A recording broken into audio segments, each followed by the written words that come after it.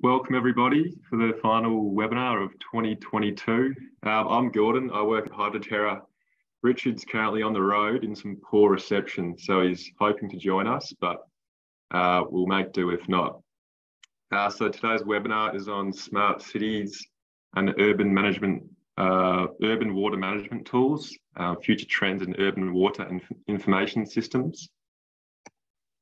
Uh, firstly, I would like to acknowledge the traditional owners and custodians of the land on which we meet today, the Bunurong people of the Kulin Nation. I also pay my respects to their elders, past and present. Uh, so today we're lucky to be joined by Warwick Bishop, who's the Director of Water Technology and just a quick background on Warwick. Um, so he's the Director of Water Technology and has over 25 years of experience in surface water management. He has led a wide variety of projects covering areas such as flood risk management, water quality, sediment transport, coastal hazard, WSUD, and, and environmental flows. Warwick has an honours degree in civil engineering from the University of Melbourne and, and a Masters of Engineering Science degree from Monash University um, investigating the detailed hydraulics of stormwater treatment wetlands. Uh, Warwick's experience throughout Australia in both rural and urban contexts. Uh, Warwick has drawn on his extensive range of surface water modelling and management experience to, to, develop the Water Information Systems team at Water Technology. This team is focused on integrating water data analysis, processing and information delivery to improve the way water is managed in multiple contexts. Um, like always, we enjoy uh, audience input. So if you have any questions throughout the webinar, um, there's a little Q&A button. Uh, you can press that and just type in any questions you may have and we will try to get through them at the end of the webinar and hopefully have some answers for you. Um, so the, the, purpose of these webinars um, is to share knowledge. Um, at Hydroterra, consider ourselves specialists in um, monitoring um, services. Um, so yeah, these webinars are designed to sort of facilitate the education. Um, so we're able to lead the industry by understanding the needs of the industry. Um, so that's why, yeah, we look forward to hearing from you throughout the Q&A. Uh, so today's webinar, um, so Warwick will be sort of covering urban water management, what the challenges are, and then he'll sort of move on to uh, how we can improve urban water management through smart tools.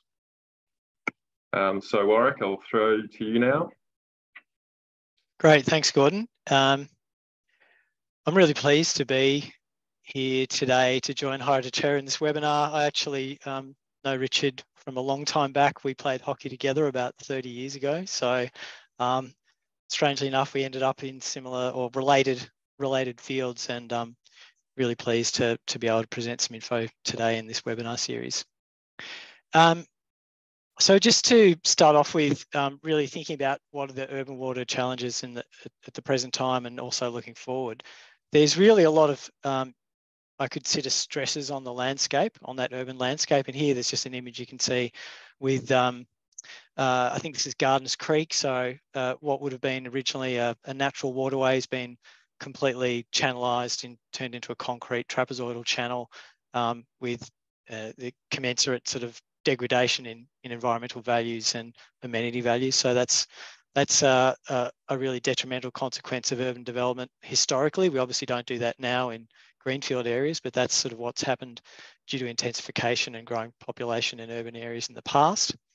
Um, not only is that imp impact on waterways, but there's an increase in flooding risk associated with urbanisation because greater, as, as, people probably know, um, increased impervious areas leads to increased rates of runoff, particularly from short duration um, thunderstorm type events.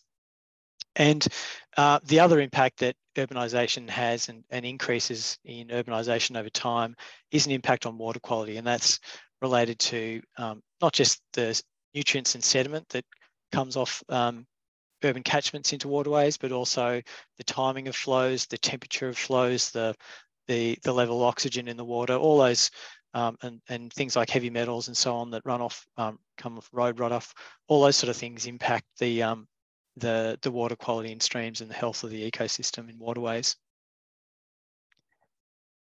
We keep going there. Right, and so in terms of thinking about what's the status of, of the urban environment in terms of surface water, uh, I think it's important to having that forward-looking um, picture to, to really contemplate climate change. And that's something that as a community, uh, thankfully, everyone's become more aware of, I think, in, in recent years. It's been an issue for a long period of time, but it's becoming far more prominent in our thinking as a, as a broader community, not just as, as specialists in the water industry.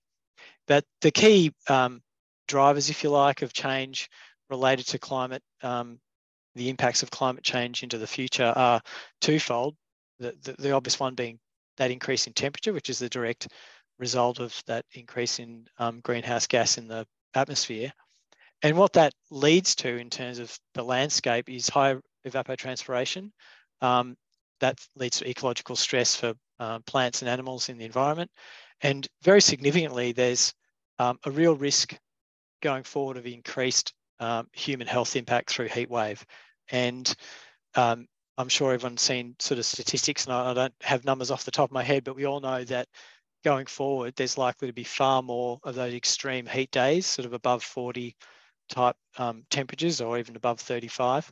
And under those circumstances, it's actually really significant human health impacts and um, leading to sort of people needing care, but also um, significant numbers of deaths are actually attributable to heat wave. And I think I, I, saw something recently, and I don't know the numbers, but the the um, consequence of the heat wave recently in or earlier in the year in Europe, uh, where you had I think nearly 40 degree temperatures in the UK, for example, which is just um, hard to comprehend. Uh, there, there, I think tens of thousands of um, casualties in terms of people impacted by those things.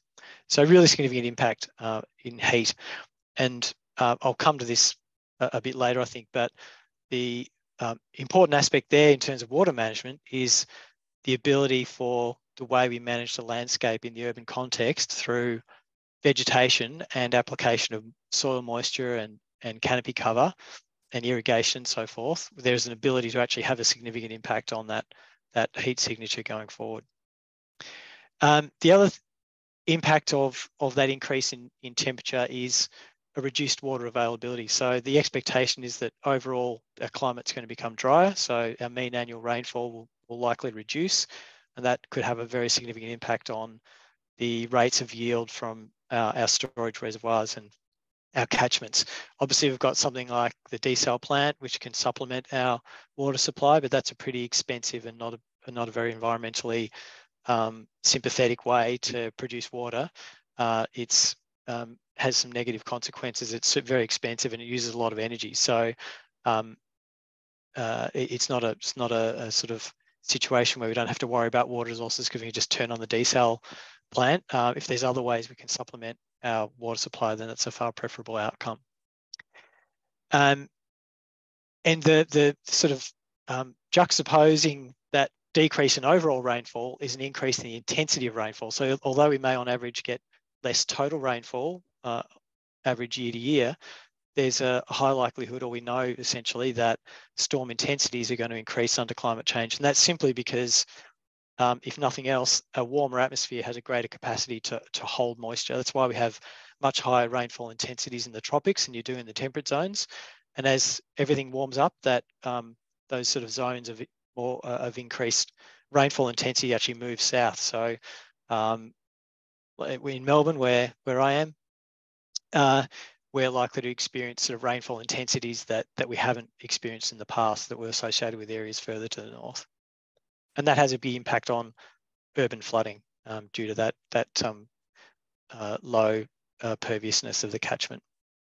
The other impact of uh, climate change is sea level rise, and this um, does certainly does have a big impact on urban areas because so much of our urban population lives near the coast and coastal cities, and a lot of coastal areas of coastal cities are in low-lying parts. So if you think about Melbourne, for example, uh, all along the, the south bank of the Yarra, South Melbourne, uh, Albert Park, all around that sort of area in, in uh, the Port Phillip Council region. Uh, you've got all the low-lying areas out the back of um, between uh, Mentone and Frankston, or um, through that sort of um, um, swamp area, the back swamp in behind the coastal dune, a lot of very low lying areas through there are all extremely um, uh, prone to inundation from um, increased tidal levels and storm surge under a sea level rise. The other thing with increased sea level, you get increased erosion of beaches and loss of sand. So that, that requires either defence uh, defences to be put up to prevent erosion or things like um, beach renourishment, which there's a lot of that going on at the moment where sand's pumped from offshore up onto the beach, which again is, is pretty expensive. Thanks, Gordon.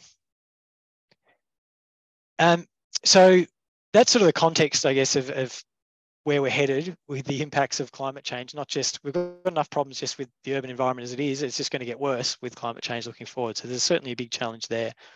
In terms of data and information, um, we can only really make decisions and, and move forward if we're well armed with information that enables us to make those decisions and undertake management operations and do things in the urban context that are going to improve the situation in terms of flooding or water quality or coastal inundation due to climate change. Uh, I think it's fair to say we live in an information age. We're, we're, we're, there's just data everywhere. We've got the internet. Uh, I'm old enough to remember, uh, sadly, well before the internet and and the only sort of source of information was the encyclopedia or the library or something. But now we're just we've got information at our fingertips, um, and and it seems like there's data everywhere. The question, I suppose, is um, do we have the right information or all the information we need to make the right decisions to improve um, amenity and uh, reduce risk and um, protect people, uh, life and property and the environment. Um, and in that context, what, what data do we need to make those decisions and where are the gaps? Um, this little image uh, you can see here is uh, a 24-hour accumulated radar rainfall uh, plot. So all those colours represent um, cumulative rainfall. You can see it's up to in the in the um, heaviest areas up to sort of maybe 100 mil in some of those intense spots. And this is rainfall caused by intense local thunderstorm activity. And this is, you can't quite see, but in the middle of that plot roughly is Tamworth. So this is in sort of northwestern New South Wales. And the um, little dots you might be able to see around there, little black dots, uh, they're actually rain gauges. So all spread all around this area, and there's quite a lot of them, are uh, rain gauges recording daily rainfall. Now, what becomes apparent when you look closely at this image is that none of those rain gauges essentially occur anywhere near the epicenter of any of those thunderstorms. So what's happened, if you just didn't have that radar rainfall information, you just looked at the gauges, you would essentially miss all these really localized intense thunderstorm activity and all the rain that occurred with that. So um, the, the important thing about data is that you need it not just uh, the right parameter and, and, and, the general locality, you need it actually at the right spot. And um, one of the big changes going forward with uh, information and, and our management in, in both rural context, but certainly in the urban area is remote sensing. Um, that's a really important source of data going forward. And uh, I think we're going to be using that a lot more. Thanks, Gordon. So um, in terms of gathering that data and, and getting the right information, um, you know, how do we go about that? This is, a, this example of a, a, gauging station there. It's a typical setup with a, a concrete weir and a and a, um, a gauge box and a um, gauge uh, markers down the side. Um, those sorts of things are pretty expensive to set up. And so uh, you tend to find whether it's in rural catchments or urban catchments, um, permanent fixed traditional gauging stations such as these um, are not that numerous, if you like. Um, they're expensive to set up. They're pretty expensive main, to maintain. So inevitably, particularly in urban areas, one of the biggest um, inhib inhibitors to accurate flood mapping, for example, is a lack of calibration um, gauge data that we can use to calibrate our models. So you'd find, for example, across urban Melbourne, where I'm most familiar with, um, virtually all of the urban flood models that are used to determine flood risk and drive planning outcomes across Melbourne, virtually all of those are uncalibrated models simply because there's not the gauging data available to properly calibrate those models. And that ultimately means we've got um, less confidence in the data that's being used, and that creates uncertainty and conflict when it comes to um, disseminating that flood information to the community because they they may not necessarily believe it or they dispute it or or and and there's also you know you really want to get that sort of thing right because it has a big impact on people. So uh, in terms of thinking about data then, well, what information do we have? We've got um, gauges, there's things like radar, um, but there's other sort of um, sources of data that are coming on board now. The traditional information might be bureau, the BOM is the Bureau of Meteorology. Um, you go onto their website, they've got um, rainfall gauges daily. There's pluvios, at, um, which is uh, five or 10 minute or half an hour increment rainfalls at automatic weather stations, which are spread around um, most of the capital cities and then around the country.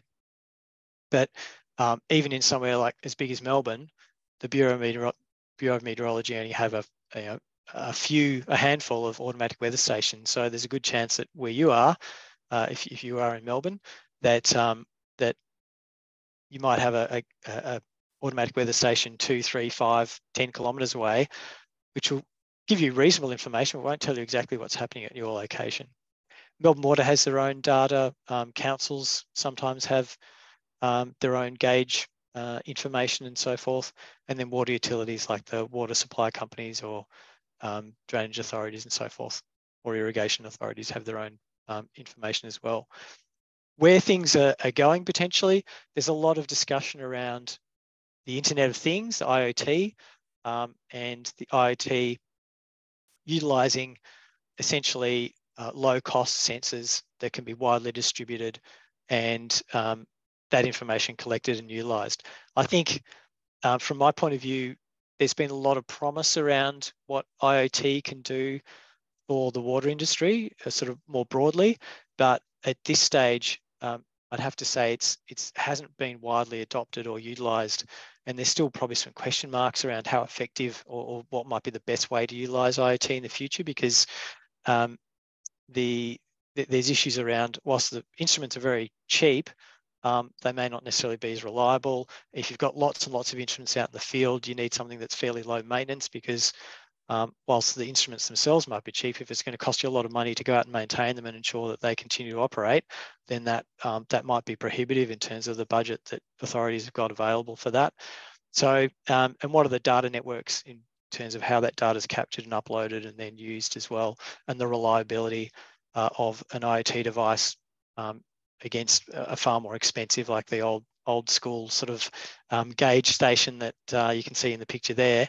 Um, you know, how much weight might you, you place on some data versus other data?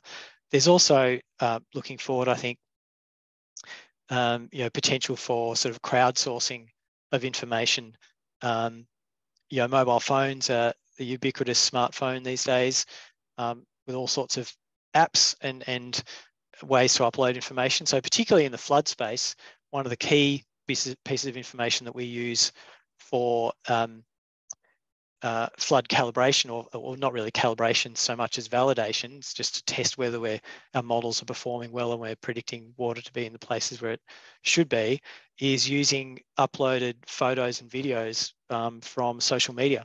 So there's applications out there which will go and harvest images and, and information from social media and, and package it up.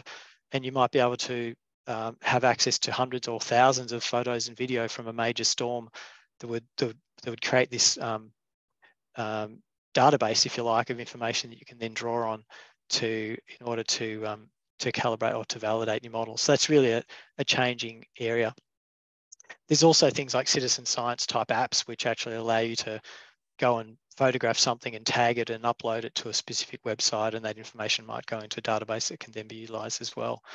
There's other sources, potential sources of information from things like, I know I've heard of I don't know any details about this, but I, I am aware that um, someone um, might have been in Europe, I think, was was looking at the potential for using um, the those sensors that that cars have. A lot of cars have now the auto windscreen wiper sensors.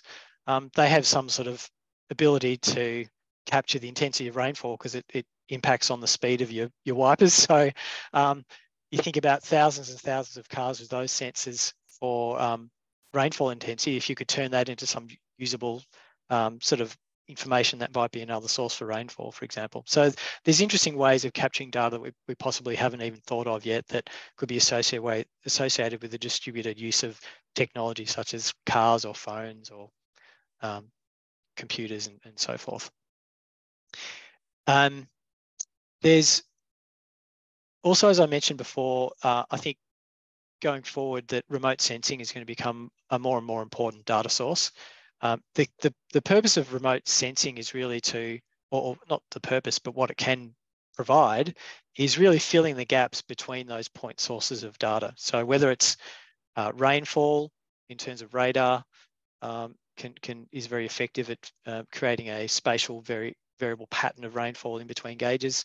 Um, things like uh, satellite imagery that can detect uh, water uh, water extent, inundation extent, or can detect soil moisture, can detect things like um, plant uh, biomass or, or, leaf leaf area index type information around the the um, the status of, of, vegetation. Can also there can be infrared um, imagery and so on that can pick up heat and things like that, which which will have a really important role in the future in managing urban heat island effect and, and urban cooling and that sort of thing, and heat waves, as I said earlier. So that whole remote sensing field, I think, is, is going to be really critical to our ability to gather data and to use data intelligently in, in the management of our urban environment, urban environment in the future. Satellites are becoming, it's probably getting a bit crowded up, up, in the atmosphere or the out beyond the atmosphere, but low orbit satellites are incredibly um, numerous these days, and but they're they're becoming like everything uh, better and better in terms of the resolution, the the frequency of flyover, the the different sorts of sensors that they've got, and the data that they can capture. So there's there's definitely some some uh, there's going to be some uh, advantages in in how we can utilize that in the future.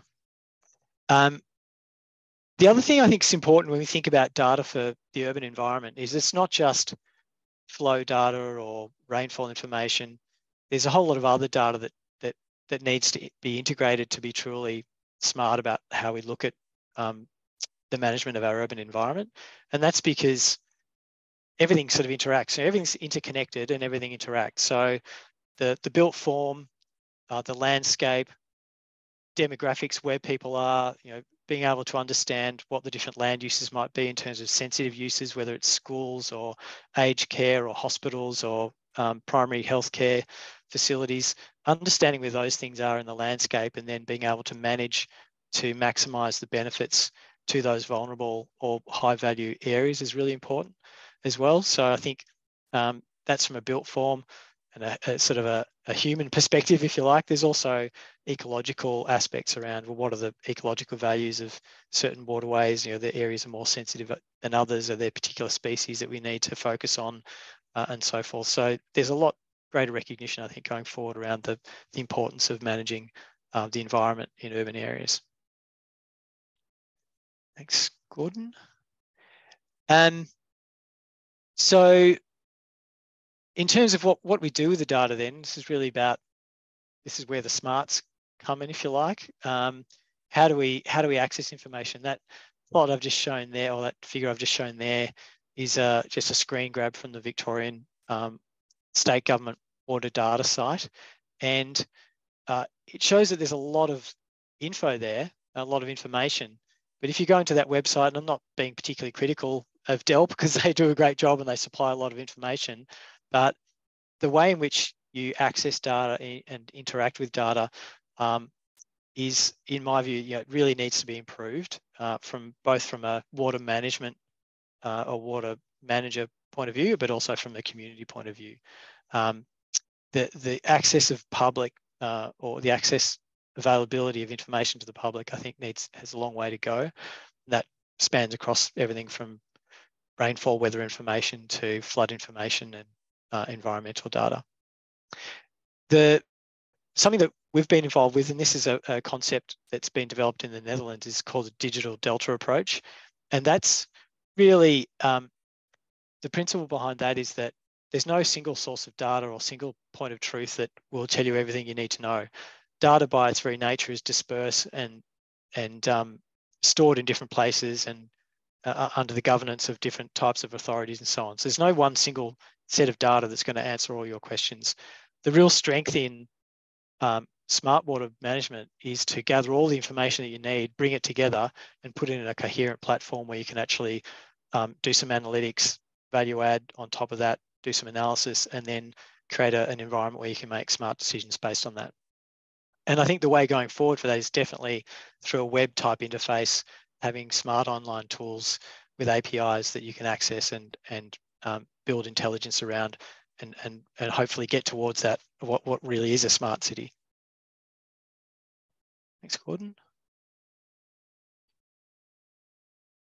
So in terms of that, that um, as I said, moving towards a, a, a an actual smart city, um, the um, in my view anyway, that's really going from just having access to data and making data available to what are you going to do with that data. So it's sort of, I suppose, in the past been described as decision support systems. Um, when I was earlier on in my career, in terms of modeling and anal analysis of data, we called it hydroinformatics. Um, these days, you hear a lot more about um, yeah, analytics and um, dashboarding and that sort of thing, but it's essentially decision support systems. It's the same same beast.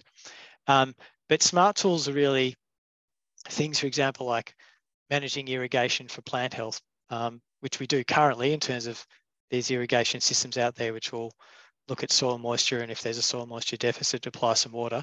But that's sort of one objective function that you might have for managing irrigation. There could be other objectives such as cooling, as I mentioned earlier, uh, heat waves are, are going to be a, a, much bigger problem into the future. And the capacity to irrigate an area, not just to make it look nice and make um, promote plant health, but you might irrigate an area to have a, a, a, measurable impact on the local temperature of that zone. So there's plenty of um, research information which bears out the, the value of um, increased soil moisture and evapotranspiration in terms of reducing um, localized air temperature. There's a really interesting study um, being done in Adelaide, and I, I don't have the details of this, but I was speaking to the researcher um, a while back, and they're actually looking at um, the potential benefits of irrigating some of the areas around Adelaide Airport to reduce the temperature and um, and save on on fuel for the planes actually taking off due to the increase in air density. So um, there's things like that that you wouldn't even really think of as a potential upside to to managing um, soil moisture and evapotranspiration and air temperature. Um, there's, I think there's a lot that's going, to, going to happen in that area in the future. Obviously, harvesting stormwater um, for, for, reuse to reduce our, our reliance on desal, for example, and and um, to adapt to a changing uh, water resource availability into the future. Uh, but not just harvesting stormwater for, say, irrigating an oval, think about how you might um, intercept stormwater or, or, or store stormwater or, or retard stormwater to mitigate flooding as well. So thinking about um, uh, Southeast Water, for example, have a system called Talking Tanks, uh, and that has a distributed network of um, valves that operate on rainwater tanks within properties to maximize the impact of storage on uh, flood uh, flood volumes and flood peaks within urban catchments. I think that's an area that's definitely going to become more prominent into the future. Um, you can also use smart tools to do things like not just manage a, a, particular situation at the time, whether it's a flood or so on. It might actually be something like um, uh, a, maintenance program, for example. So we've looked at applications where you could um, use accumulated rainfall within a catchment to predict when uh, GPT, gross pollutant trap maintenance, might need to be uh, undertaken. So look at look at um, the pollutant load, the amount of runoff that's occurred over a period of time, and say, well, after this this much volume passing this particular location in the stormwater network, you're likely to have to, uh, to have reached 80% of your capacity or whatever it is in that GPT. You need to come in and and clean that out rather than just having scheduled regular maintenance where um, the variability in flow would mean that sometimes you go and inspect that pit and it doesn't need to be cleaned out and you've wasted your time. Um, using smarter ways to be able to um, schedule things like maintenance is, a, is an area where there can be potential um, upsides for councils, for example. And obviously things like warning and alerting, um, using our sensors and our network of information um, to, to inform the community, inform decision makers about might be road closure or um, there's uh, poor water quality in a in a pond or or, or a lake, and, and, so you don't want anyone to have primary contact for health reasons. Setting up um, systems where that that sort of um, notification can all happen automatically and messages sent to decision makers who can take action, but also information that can go to the public to keep them informed. Thanks, Gordon. Um, so I thought I'd just um, get into some examples um, and talk about a couple of projects and, and pieces of work that uh, I've been involved with, either directly or indirectly. Um, the first one I wanted to talk about is the Sponge City Brain. Now, this is a real-time decision support system for urban flooding and water quality that was developed for um, the city of Kun Kunshan in China. And that's a, a, picture of the area there. Um, sort of, if you can see, there's a bit of an outline in the middle. that's the area of Kunshan. It's just to the uh, west of Shanghai. Um, and as you can imagine, uh, China is a, a, a, a, really heavily urbanized environment.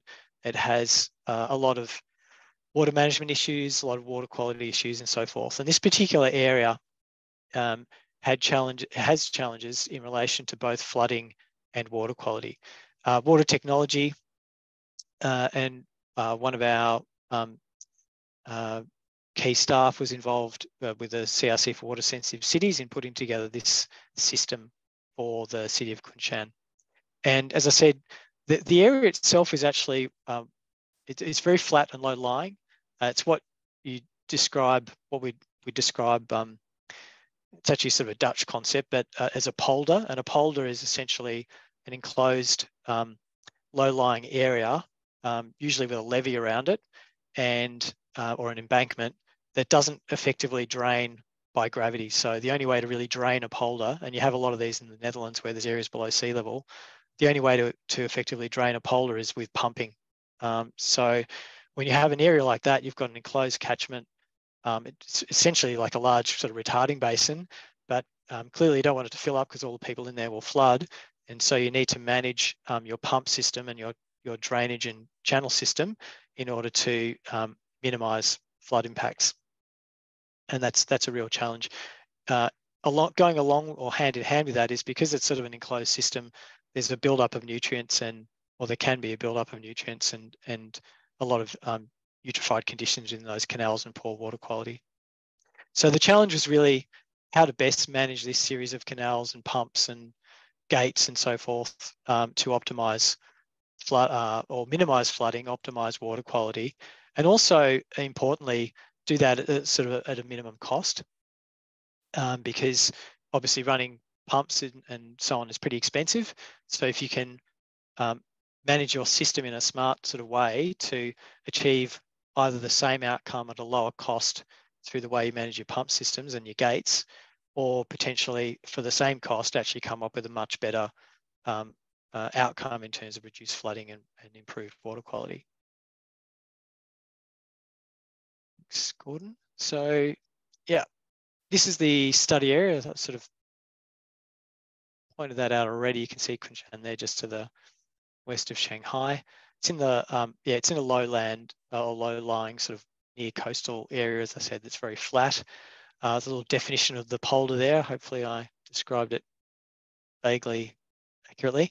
Um, and on the right, this is a um, showing the uh, this particular polder and the characteristics characteristics of it. You can see the blue, light blue or the aqua blue lines are the waterways and the water bodies. And then you've got um, wetlands distributed around there to for water quality improvement. And then there's a number of, um, there's little yellow icons or, or um, um graphics uh, illustrate where the pumps are. So around the edge of that system, at the end of each of the canals or the, or the the waterways. Um, you have pumps that then uh, send the water over the embankment into, into the neighbouring sort of drains or river or somewhere that can get away. So this is um, sort of a, a I guess, a, a, a, schematic of what the um, smart city or the sponge city brain looks like, and, and it's a it's um the uh, it's a particular way that this um, program is described in China in terms of the Sponge City program. It's um, we would call it water sensitive urban design, but um, the, the the sort of um, symbol symbolism, if you like, of the Sponge City is very much as it as it describes. It's about um, rather than having the city as a as a hard surface where water just hits and runs off, um, creating a city that's more of a sponge that can can absorb that water and and hold it um, and and and all the benefits that sort of flow from that. So that's sort of the symbolism around the the idea. With the brain, the the whole purpose of that was saying, well, let's make it smart and uh, let's have a central sort of system that can manage all these different data sources, um, opt have optimization schemes in there and manage all those um, assets to get a better outcome. So you can see the components on the left.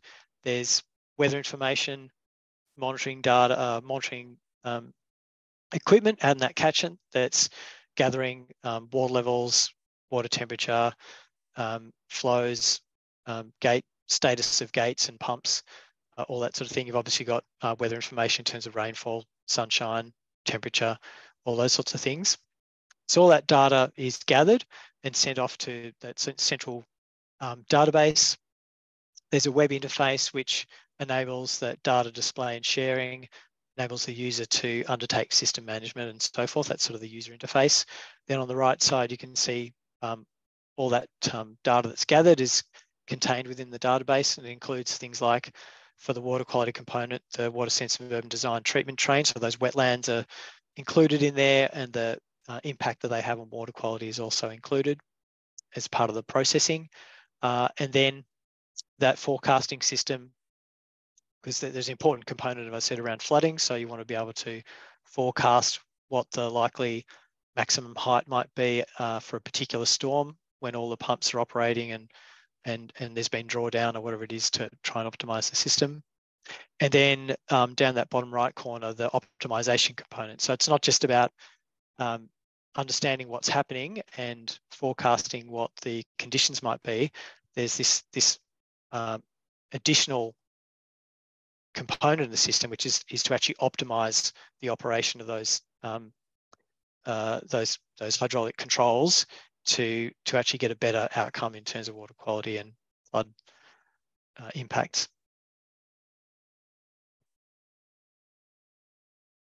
and this is sort of what it looks like a little bit more. Um, it's still sort of, uh, I guess, a, a, a schematic, but um, you can see here there's uh, pollutant models, there's um, hydrologic models and so forth feeding into um, the central database and work server.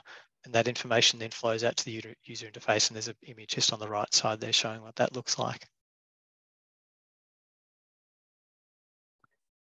Now, this I, I can't uh, unfortunately, I can't read Chinese, so I can't tell you what, what all these uh, details show, but this is just an example of the interface that was developed for the um, uh, for the for the uh, the user or the client um, group in Kunshan, and that's giving them that ability to see uh, what's going on. There's graphs around the predicted and the optimized and so forth. So just that typical sort of web interface where you, you, you make all the data available, you make it easy to read in terms of charts, maps and graphs, uh, and then inform the user and then the user can make decisions around, yes, well, let's go with that optimization scenario uh, or, or maybe no, there's some other consequence, so we'll go with a different path. Thanks, Gordon. And this is just an animation which shows um, on the left is the before optimization, on the right is after. You can see at the end of the, the flood that the two, um, two images end up, this is a flooding situation. At the end, they end up at a reasonably similar situation, but you can see on the right, the actual peak, um, the peak levels are much lower than on the left, which is the, the um, non-optimized uh, version, if you like. Thanks, Gordon. The next example I want to go through quickly is the Melbourne Water Drainage Visualisation and Water Control Room project.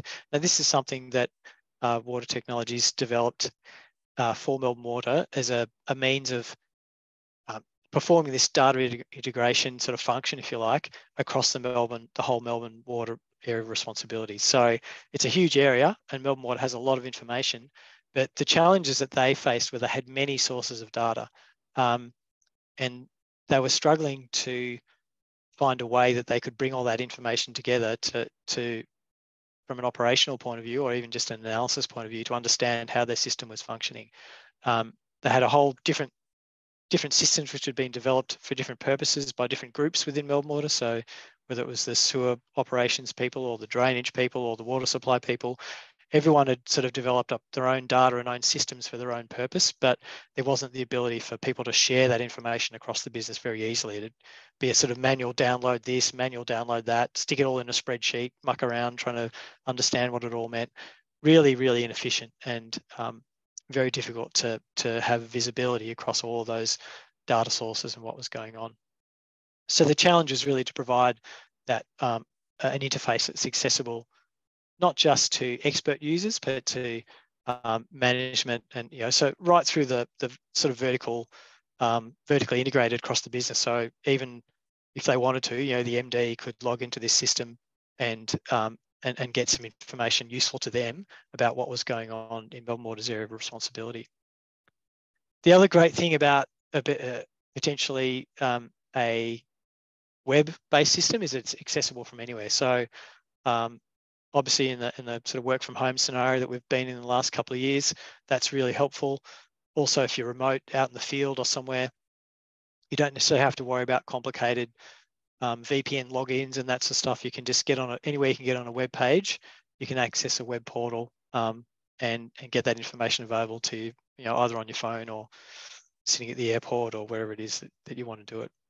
So the solution to all this was for us to implement um, a Hydronet um, solution, and that's I won't go into the details of Hydronet, but that's a Dutch system that uh, we work with that enables all these data sources to be pulled together and um, put into web dashboards. Thanks, Gordon.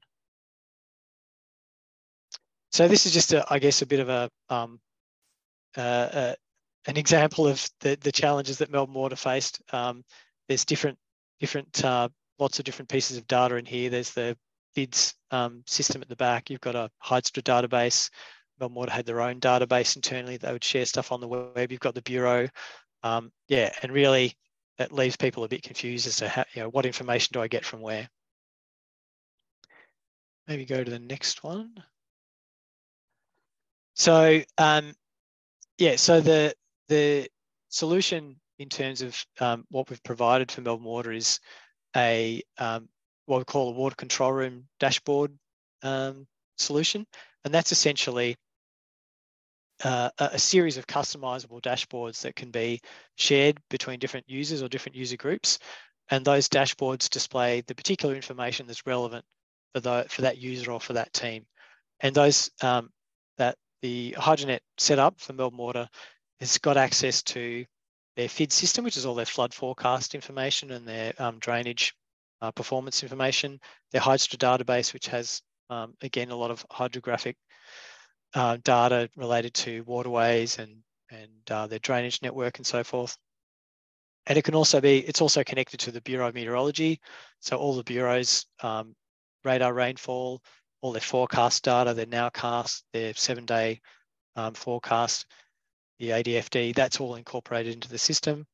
Um, plus, uh, I think there's things like webcams and, and all this sort of gear. There's, there's basically no end to what additional data can be plugged into this system. So it's really created a, a, a centralized sort of unifying interface for all the different sorts of data that Melbourne Water want to be able to utilize. Um, here we've got an example of a dashboard that's been set up specifically for the city of Casey to um, highlights all the catchments that um, are relevant to the city of Casey that either within or flow through that city. And we can pull up things like what's the rainfall over the last 24 hours, what's the rainfall predicted over the next 24 hours uh, or, or, the next three days. You can then generate alerts based on that information as well. So, um, and that's really locally specific information. There's already alerts provided by the Bureau of Meteorology, for example, in relation to um, future uh, or, or, flood watch, for example, you know, future forecast rainfall, but it doesn't go down to that catchment um, localized catchment level that we can with a system like this. And Melbourne Water's found this yeah, really, really helpful. Thanks, Gordon.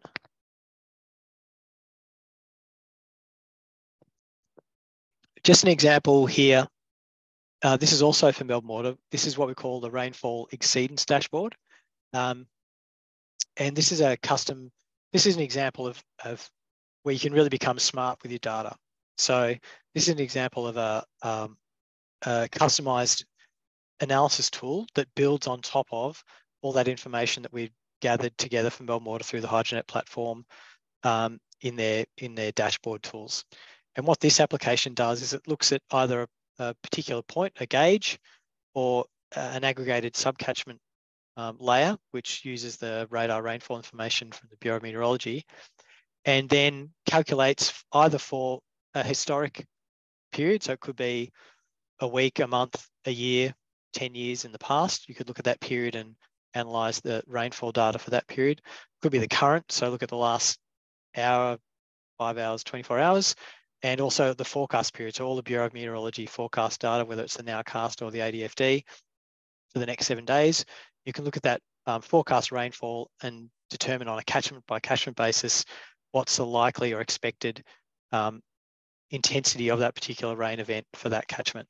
Uh, and what it does, you can see on the left side above the map, there's a list of um, catchment names, so Watts River, Elster Creek, so forth. And then the, the um, across the, the top there, there's different durations. So you can see the 15, 30 minute, one hour, three, six, 12, 18, up to five days um, duration. Um, and for each of those storms, uh, for that particular period that's been selected, and I think the time here is the date here was the 15th, 11th to the 15th of October. And for those, for that particular window, that period, it's showing what the um, uh, the peak intensity for uh, each of those durations was uh, in each of those catchments. And then on the, over on the right, if you click on a particular location or a particular catchment, it actually plots um, the cumulative rainfall and the storm bursts. And in the bottom right-hand corner, that's an IFD, um, plots the, the cumulative rainfall against the IFD curve. So you can actually see straight away if um, whether that event was, uh, say, a five or a 10 year event or, or, or what it might have been. And that's really helpful for data analysis for understanding in the past what's happened in particular areas and what the impact of floods might have been. You can also look at effectively use as a predictive tool to say, well, we think we're going to get a, a, a 50 year storm in the next four hours in this particular catchment, and that um, then enables management actions to occur there. So re really good example of sort of value add on top of um, the information. Thanks, Gordon.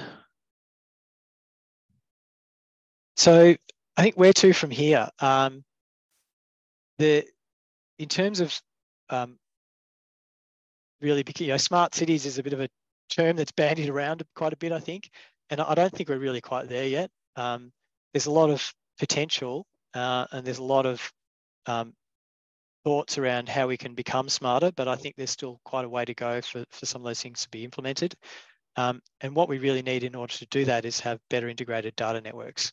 So um, grab the information that we've got available from different sources, pull it together, and add new data sources such as remote sensing I mentioned before, get the IoT device network sort of working and, and get that information coming in, the crowdsourced data that I also mentioned earlier, find out what are the most useful sort of sources of that and, and somehow integrate that into our decision-making framework as well. It's then a matter of, um, in, order, in order for us to be smart about it, we need to understand what we're trying to achieve and what tools do we need to, to, to get us there. Um, I think web platforms are definitely the go. Um, building in that custom functionality that allows different user groups to get the information they need to make their decisions. That's that's when we can really leverage all the information we have and become, uh, I think, more more nuanced in our approach to to water management in terms of holding things when we need to hold it in, letting it go when we need to let it go, increase treatment when, when it's needed, irrigate when it's going to give the most benefit, um, all these sorts of things um, in relation to the, to, the urban water system. And um, having these systems in an interactive sort of fashion so that we, we can not just observe what's going on, but actually game, you know, and, and look at, well, what if we do this or what do we do that? The, the similar way to what the Bureau do, they run ensembles of forecasts and, and then pick the one they think that's most uh, most likely to occur. So um, I think that's really, really the way of the future. I think that's my last slide, good. Yeah, thanks for that, Warwick. I just spoke to Richard um, and he's still having troubles. Um, so he sends his apologies. He won't be able yep. to join us today. So I'll, I'll just whip through his slides quickly. So um, on the right, there's a photo of the UNESCO uh, 17 Sustainable Development Goals. Um, so talk about the work required to deliver Smart City Nirvana um, organisations need to have a clear strategy that encompasses their goals and how they measure their success at all levels. Um, people sometimes don't know what they need to measure, so it needs to be worked out. Um, collaboration is pivotal between a variety of organisations um, to be able to use the infinite functionality. Um, careful des design is required to enable management to use IoT to achieve operational efficiencies and reduce uh, environmental impacts. Um, and then yeah, sort of working out the needs. This is sort of a, a Hydra Terra um, schematic table that we use. Um, so initially it's about the design, so the system, system design and system specification. Um, and it's about the supply, so system supply, configure and test, system install. Um, and then we work down to operate, so the system oversight, um, maintenance, uh, reporting, and also training. And then uh, we worked into the monitoring activities. Uh, it's about managing um, the resources and logistics of the monitoring programs and also um, collecting so field measurements, um, sourcing third-party data sheets. Um, it's also about site data management and then also finally reporting um, and what's needed to make it happen. Um, so yeah, essentially we've got a wealth of different type of sensors as Warwick was talking about before.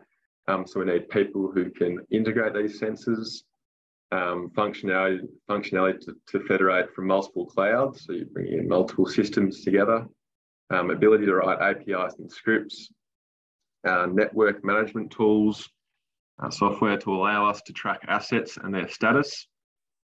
Um, we need alarms in these um, sensors if something's going wrong. So our team's notified and um, can have a, apply technical support when it's needed.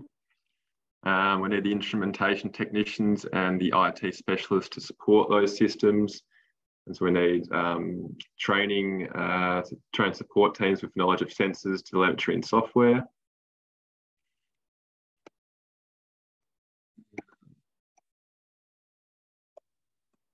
And so we need consultants to design the information outputs to meet stakeholder needs, and then data specialists who can take our IoT outputs and produce meaningful data visualizations aligned with the consultant's um, identified management needs.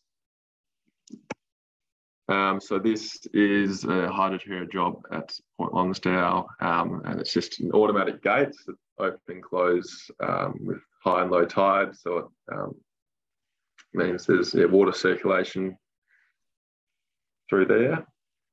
And there's another case study at the Melbourne Zoo that HydroTerra is involved in. Um, real-time monitoring of their vegetation to improve water efficiency. So we see we've got soil moisture probes there, um, hooked up to telemetry, um, a data logger of telemetry, and then we've got the solar power, which um, supplies the power for the logger.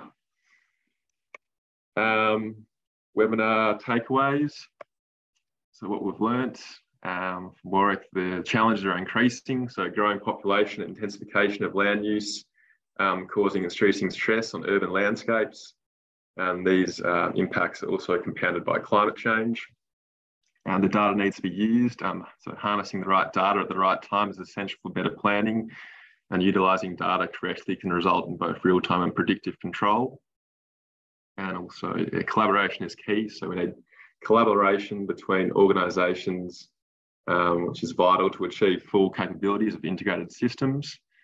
Um, synergies it required from sensor all the way through to data visualization. Um, and we had a few early bird questions, so thank you to everyone who gave us them. Um, Warwick, are you able to tackle these? I, I can have a go, uh, definitely. so in terms of um, technology ties back to sustainable development goals, I think um,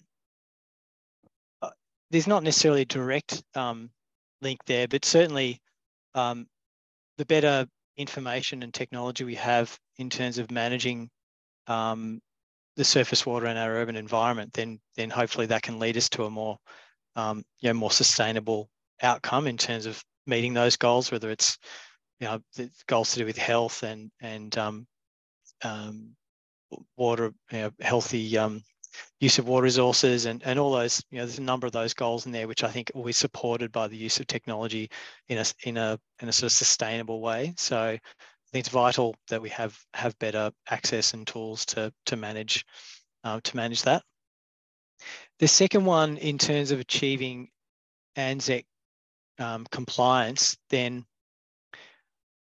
uh, definitely you, know, you, can't sort of you can't demonstrate compliance without measurements. So um, those data networks are really important. The sensors, having the right sensors in the right locations, um, is really important. There's obviously cost limit, cost sort of constraints, if you like, on data networks. So it's being, I think the key there is being um, clever around how you're using your best um, gathering and, and, and using your, your data measurements to demonstrate that compliance um, and whether there's in the future the ability to to sort of um, use some of these other methods such as as remote sensing and so on to augment um, in situ point sort of point source um, measurements.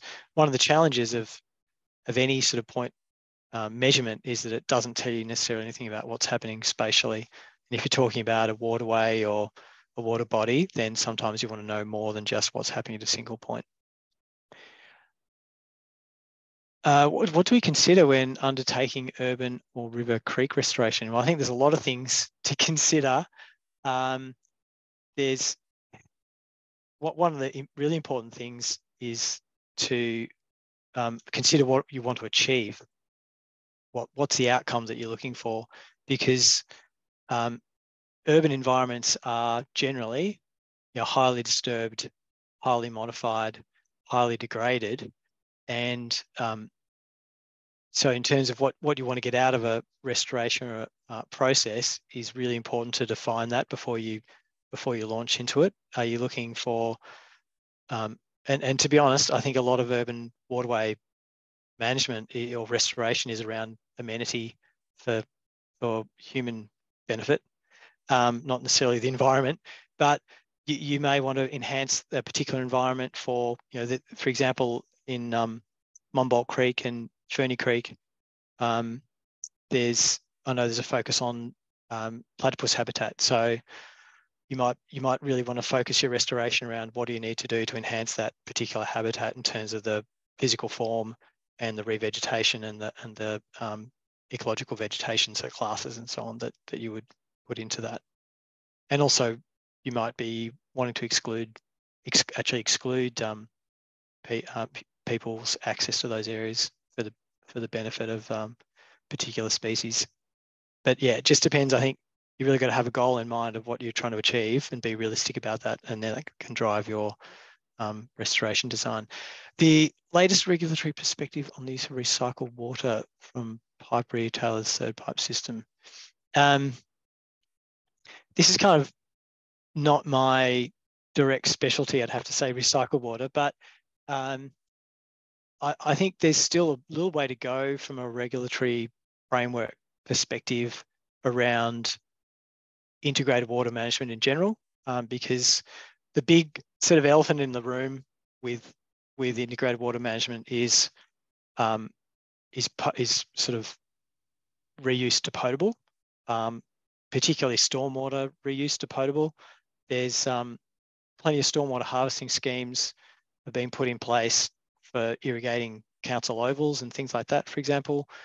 Um, but um, there's really nothing out there that that, that that's seriously contemplating going from um, stormwater to potable use. And unfortunately, that if we want to have really large scale stormwater harvesting schemes in place, then we've got to find a use for that water. And in the urban area, um, the most obvious use is is potable substitution. So um, that's yeah, we're just we're just not there yet with the regulatory framework for that, but I, I expect that's something that's going to evolve over the next decade. Um, I'm less on top of recycled water from treatment plants. Clearly, that's that's um, pretty advanced in terms of the, the tertiary treatment standards and um, what's required for different uses in terms of primary contact and so forth, and the third pipe systems that are quite uh, extensive through a lot of the um, greenfield urban areas where third pipe systems have been put in for, for garden use and toilet flushing. I think that's pretty well bedded down, but it's the it's it's what we're going to do from the point of view of um, uh, harvesting stormwater. I think they've still got a way to go. Uh, collation interpretation of real-time data. Um, this is certainly an interesting one. Um, there's there are issues in terms of accessing real-time information. Um, those sorts of um, sort of latency issues around how long does it take to to get data from uh, a collection point through a telemetry network or whatever it might be through to a um, a receiver and then into a database and then you, do you need to quality check it and how to use it and so forth.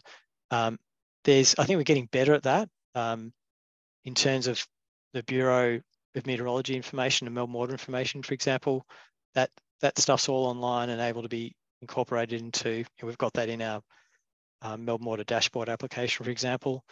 Um, yeah, I, I, think the key there really is um, how you access and um, combine that that real time um, data into a useful uh, interface that you can do something with because real time data is only really used to you if it's in an ingestible form that makes sense that you can do something about. Otherwise, um, if you're not able to really do anything with it, well, it, it might be nice to look at, but it's not helping you that much. A good example of that, I think, is uh, radar rainfall. So um, the Bureau of Meteorology radar images are pretty ubiquitous. Everyone would just about uh, looks at their phone pretty regularly when there's storms on. You can go and look at those colored maps and you can see, oh, there's a storm coming, but it doesn't actually tell you how much rain there's going to be. Uh, whereas um, Melbourne Water has utilization of a system, and the Bureau does this, but that it's not necessarily readily publicly available. They have calibration of that rainfall data in real time and you can access that data and, and we bring up grids in Hydronet, for example, where you can click on a, poly, uh, uh, pixel and it'll tell you actually how much rainfall is there and how much is um, predicted in the next three hours. So um, the key is turning that data into something useful that you can then make a decision based on. Uh, problems with algae in urban lakes, ways to mitigate this. Well, algae in urban lakes is generally uh, uh, resulting from eutrophication, which is an excess of nutrients in that system beyond what it's got the natural capacity to absorb. So um, that's primarily in, in, in urban areas, that's due to a high nutrient runoff from urban land use. And that might be from you um, from your streets and, and private um, lots, but it can also be from things like golf courses or areas that might have high application of fertilizer and then results in um, high nutrient runoff into those sorts of areas. Um, the mitigation for that is really pre-treatment of that water before it gets into the lake to try and strip nutrients out. Um, the other thing that we do is Melbourne Water has essentially turned all the lakes into wetlands and, and increased the productivity of those so that there's more nutrient uptake from the macrophytes, the emergent macrophytes in those water bodies to sort of try and take some of that nutrient out of the of the the water column. Um, but the key thing is really improve our, try not to generate the nutrients in the first place. So treat that at source. Um, and then, uh, and then if you can't do that, then have stormwater treatment measures such as wetlands um, biofiltration systems, rain gardens, um, grass swales, all those sorts of WSUD treatments that can pre-treat urban stormwater before it actually gets into a lake and causes that eutrophication problem with the algae growth. And number seven, real-time stormwater quality assessment and scope for large-scale first flush. I'm just trying to work out what that means. Um, so I guess that's really asking, is there, a, is there scope for improving stormwater quality through um, first flush pollution diversion systems? Now, I assume what um, this person may be getting at is the first flush is something people might be familiar with it in terms of rainwater harvesting systems into a rainwater tank at a lot scale, where, where the first bit of water that runs off the roof or whatever hard surface that you're capturing from um, gets diverted out of the system and doesn't go into your rainwater tank because it, the notion that notionally the idea is and this is backed up by data is that first bit of runoff can be quite high in, in nutrients and pollutants so you basically eject that and then let the rest of the water go into your rainwater tank so you improve the water quality in your tank at a macro scale you could theoretically do this for a whole stormwater system by um, ejecting that first part of the stormwater runoff um, either into some sort of um, holding pond or infiltration system, or maybe even into the sewer. Um, you know, that that's one option is you that that area of greater pollution, you could actually put that into the sewer. Now, I'm not suggesting anyone do this because that's actually illegal, but if if um if if Melbourne Water and councils had a had an agreement to do something like this, you could potentially um, divert something like that into say the sewer system where it would go off and get treated, and then the water um, stormwater that came after that could could go into um, into a pond for reuse or, or, some other sort of purpose. But I'm not uh, I'm not aware of any proposal to sort of tackle that as a as a obvious um, uh, solution to to stormwater quality. I think there's probably better ways, more natural systems we could use um, to you know through wetlands and bioretention systems to treat that first flush. But that's my go at those questions anyway. Awesome. Thanks for that, Warwick. Uh, I think we've used up our hour, so we might leave it there. Um, oh, so we're HydroTerra conducting a training needs survey at the moment. So I think Gleedson's going to post a link in the chat.